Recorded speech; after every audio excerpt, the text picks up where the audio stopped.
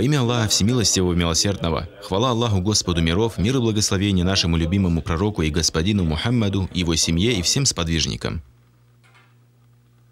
Некоторые наши братья и сестры, да наставит Аллах нас и их, когда говорят им «оберегайте себя», и когда говорят им «читайте азкары»,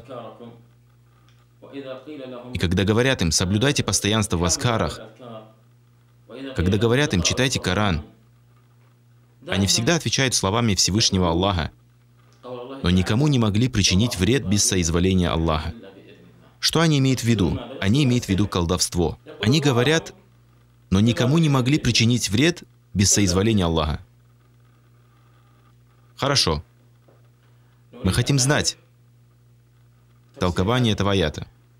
Это 102 аят суры Аль-Бакара. Всевышний Аллах говорит, прибегая к Аллаху от дьявола, побиваемого камнями. Они последовали за тем, что читали дьяволы в царстве Сулеймана. Сулейман не был неверующим. Неверующими были дьяволы. Возьмем этот момент. Кто были те, которые последовали за тем, что читали дьяволы в царстве Сулеймана? И почему Аллах оправдал Сулеймана, алейхиссалям? Всевышний сказал, Сулейман не был неверующим, неверующими были дьяволы. Сыны Израилевы жили во времена Сулеймана, также они жили во времена Муса, алейхиссалям, и также во времена до него. Они появились после Ибрахима, алейхиссалям. Но во времена Сулеймана, алейхиссалям, многие иудеи скрывали в своей душе неприязнь к Сулейману, мир ему. Сулейман, алейхиссалям, получил царство в наследство от своего отца – при этом он получил пророчество от Аллаха, субханаху тааля. Пророчество было получено от Аллаха, а царство просто унаследовано. Как и делают многие цари и короли, наследуют власть. В душах иудеев же скрывалась зависть к Сулейману, мир ему.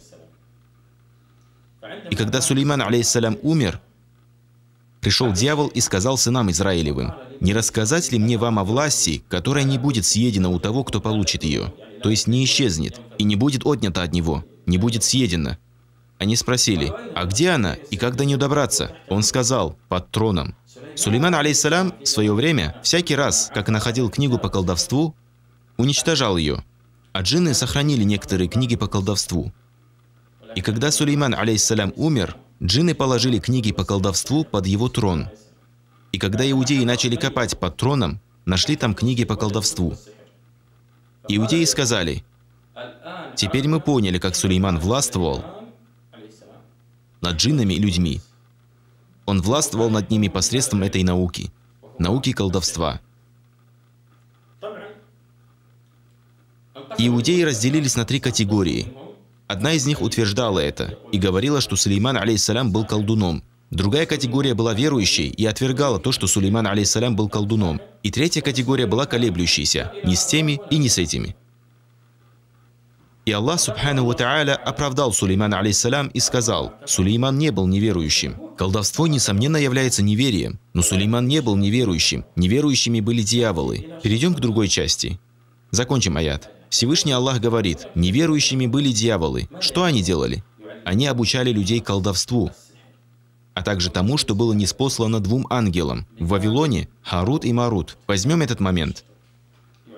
Они обучали людей к чему? колдовству. Значит, двум вещам. Тому, что называется колдовством, и другому, которое было неспослано двум ангелам. То, что было неспослано двум ангелам. Касаемо ангелов, пророк, алейхиссалату вассалям, в его время был неспослан Коран. И были также неспосланы две оберегающие. Это суры Аль-Фалак и Ан-Нас. Значит, они были неспосланы пророку, алейхиссалату вассалям. А в те времена дьявола обучали чему? Колдовству и тому, что неспослано двум ангелам. То есть они включали эти две вещи друг в друга. Сейчас некоторые суфии включают колдовство в Коран. Подобное уже было в прошлые времена. В Ираке, в Вавилоне Дьяволы обучали людей колдовству и тому, что было неспослано двум ангелам в Вавилоне. Что это за ангелы? Харут и Марут. Некоторые люди думают, что этим ангелам было неспослано колдовство, и они обучали людей этому колдовству. Ни один из ангелов никогда не занимался обучением колдовству. Ни один из ангелов не обучал колдовству никогда. Они обучали людей религии, вере, и не спосылали людям что? Аяты – приходили с аятами к кому? Пророкам, а не обычным людям. Они приходили с аятами в те времена к пророкам, а пророки обучали им людей от своего Господа. Дьяволы же взяли эти две вещи. Колдовство и то, что было неспослано двум ангелам в то время, из небесных книг, объединили их и произвели новое колдовство. Как делают некоторые суфии сейчас, берут часть колдовства и смешивают с частью Корана, объединяют их и предоставляют людям новое колдовство. И некоторые люди говорят, но никому не могли причинить вред без соизволения Аллаха. Есть разница между соизволением Аллаха и его повелением. Соизволение – это дозволение Аллахом, чтобы какая-то вещь произошла естественным путем. Всевышний Аллах позволил огню, чтобы он сжигал. Также Аллах позволил воде, чтобы она тушила огонь и утоляла жажду. Также Всевышний Аллах позволил ветру гонять облака. Аллах позволил ножу резать. И все это является общим дозволением. Это называется общим соизволением. Поэтому ничего ни на земле, ни в небесах не происходит, кроме как соизволения Аллаха. И вещи происходят и случаются естественным путем, согласно общему общему соизволению. Что касается повеления Аллаха, то повеление бывает выше, выше соизволения. Когда Ибрагима, алейхиссалату вассалям, бросили в огонь, пришло повеление. Вот разница между соизволением и повелением. Огню Аллах позволил сжигать, но в этот раз пришло повеление, конкретно по этому случаю. Мы сказали, «О огонь, стань прохладой и спасением для Ибрагима».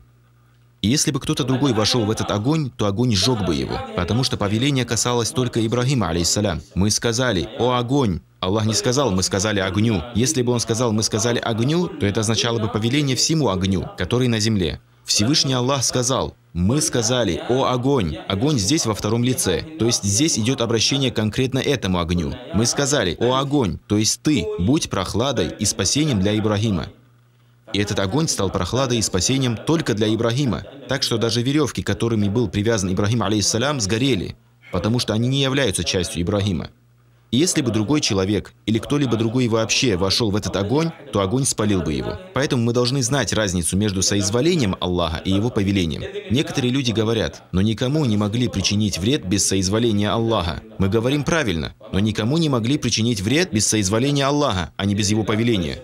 Потому что когда Аллах повелевает, Он не вредит никогда. Ну а что касается соизволения, то оно общее, может повредить. И Всевышний Аллах оставляет, кого пожелает. Или спасает от вреда, кого пожелает. Понятно и сложно? Это то, что предопределил нам сегодня Аллах. Мир вам, милость Аллаха и Его благословение. Mm-hmm.